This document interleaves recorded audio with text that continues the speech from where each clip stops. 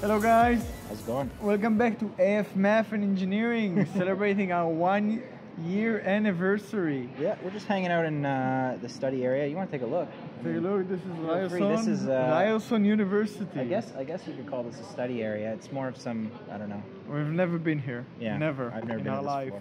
This video is uh, mainly going to be on the people to stay away from in engineering. Okay, Mhm. so we got a, a wonderful question regarding like, give us one good tip for engineering, and we were like discussing what we were going to pick and everything, and we got that that's the subject we want to do, the people to stay out from.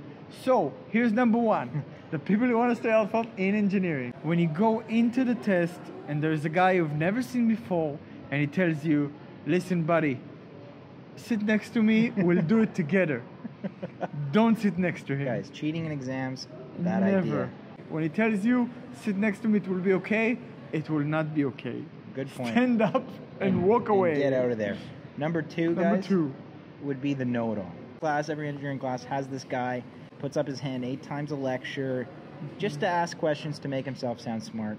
Yeah. Those kind of guys, you know, you want to stay away from. Generally, you know, they're more interested in telling everyone else things to make themselves feel smart rather than to help you.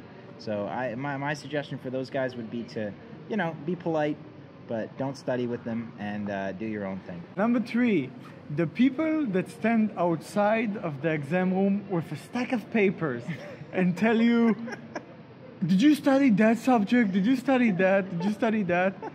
Stay away. Those guys will stress you out. Those guys will make you feel like you have no idea what's going on. Stay away from those guys. Really, get to the test five minutes before it starts. Take your seat, take your calculator, and that's it. Don't talk to anyone Yeah, before anyone. They will stress you out. I, I personally avoided that situation every time I could. Yeah, number four.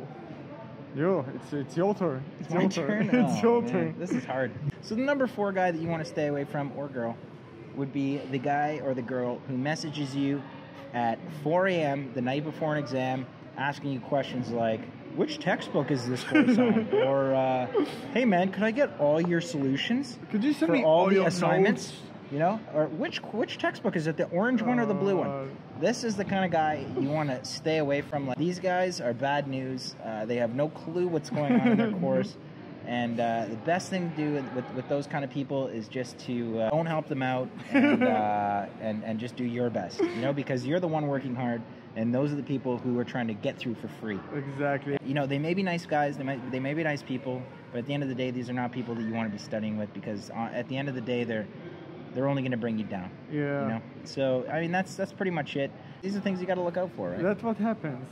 So this is us broadcasting from the beach in the wonderful Toronto. Like and subscribe. You heard the man. Like our videos. That's it. Peace out. See you guys.